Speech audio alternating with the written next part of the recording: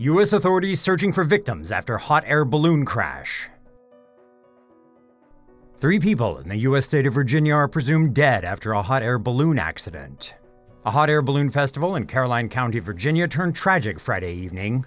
Witnesses said three balloons were coming in for a landing just before 8 p.m. when one of the balloons clipped a power line and caught fire. The pilot reportedly tried to open the balloon's top in a bid to control the fire, but the balloon instead suddenly climbed back into the air.